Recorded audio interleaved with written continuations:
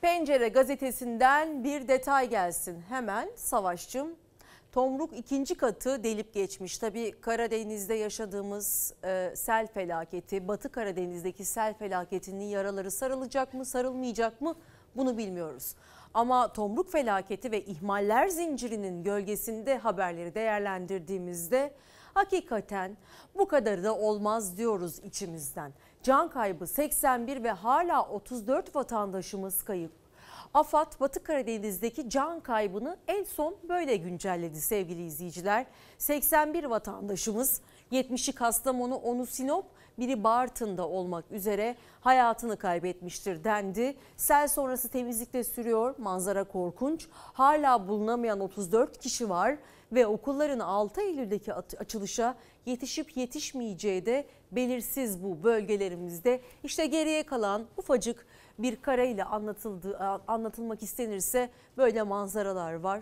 Ee, büyük bir felaket yaşadık. Aslında tüm yaz felaketlerle geçti. Afetlerin e, gölgesinde ama afetlerden de ziyade ihmallerin bize getirmiş olduğu felaketlere boyun eğmek zorunda kaldık. Yangınlarla başladı ve sel felaketiyle devam etti. Neden her afet bizim için korkunç ve kabus dolu e, dakikalara tanıklık ettiriyor? Bunu da aynı zamanda her zaman sorgulamaya devam edeceğiz. Karadeniz'deki sel felaketi ne yazık ki 11. gününde yine acı haberler gelmeye devam ediyor. Kastamonu, Sinop ve Bartın'da yaşamını yitirenlerin sayısı 81'e yükseldi. Enkaz kaldırma çalışmaları da bir yandan devam ediyor. 112 merkez. Yol kapalı. Toprak kayması olmuş. Devam edemiyoruz. Karadeniz'de sel felaketinin üzerinden 11 gün geçti. Kastamonu, Sinop ve Bartın'da can kaybı 81'e yükseldi. Kayıplar aranıyor, enkaz kaldırma çalışmaları sürüyor. Ulaşım sağlanamayan noktalarda kepçeler devreye giriyor.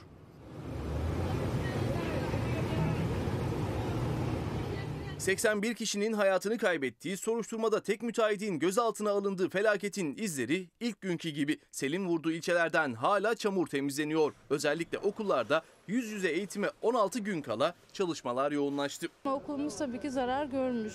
Kapıları gitmiş, ilk birinci kat su altında kalmış. Yani buranın acilen yetişmesi lazım. Bu okulun da eğitime hazır olması lazım ama nasıl olacak yani? Sel bölgesindeki bir okul afet koordinasyon merkezi olarak kullanılıyor. Bir başka okulda ise temizlik çalışmaları başladı artık.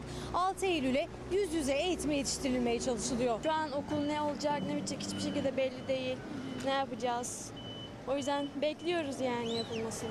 Kastamonu Bozkurt'taki okullar gibi İnebolu'daki Özlüce köyünün okulu da büyük zarar gördü selde. Okul müdürü ve bir hizmetli okulu temizlemeye çalışıyor. Bir yandan yaralar sarılmaya çalışılırken bir yandan da bölgede yağış etkili olmayı sürdürüyor. Meteoroloji Sinop başta olmak üzere Giresun, Trabzon, Rize ve Artvin için kuvvetli yağış uyarısı yaptı. Önceki gece ise Kastamonu'da yine ev ve iş yerlerini su bastı. Aynı bölgede sel riskine karşı afetten sonra kurulan seyyar köprüler kaldırıldı. Zonguldak'ta etkili olan sağanak yağış sonrasında ise heyelan meydana geldi. 16 kişi evlerinden tahliye edildi. Zaten bölgedekilerin en büyük korkusu da yeni afetler. Çünkü yaşadıkları yerin güvenli olmadığını biliyorlar. Sinop, Kızılot ve Gebelit sakinleri de daralan dere yatağı nedeniyle çok tedirgin. Onların da evi dere yatağında. Yağmur yağdığı anda evlerimizde rahat uyku yok. Hep komşulara soruyoruz sel geldi mi? İşte sizin oraya su bastı mı? Gebelit'le Kızılot mahallelerinin ortasından geçen dere yatağı köylülerin iddiasına göre bu bir ıslah çalışması ama dere yatağı tam aksine daraltıldı ve bu yüzden kendilerini korkuda hissediyorlar. Üstelik de bu proje yarım bırakıldı. Eskiden köprü yoktu mesela. Köprü burayı tıkaya. Ağaçlar şimdiden dere yatağını tıkamış durumda ve hemen üzerinde de bir köprü var. Eğer bir gün çok şiddetli bir yağış olur da sel olursa bu köprü yıkılabilir ve su evlere doğru gidebilir. Çok dar bir vaziyette. Yani buraya aklımıza geldiği müddetçe bizim hem de müteahhit bir de yarım bıraktığı için tamamını yapmadığı için biz endişeliyiz yani. İddia projenin yarım bırakıldığı yönünde. Bölgedeki tedirginlikte enkaz çalışmaları da aralıksız devam ediyor.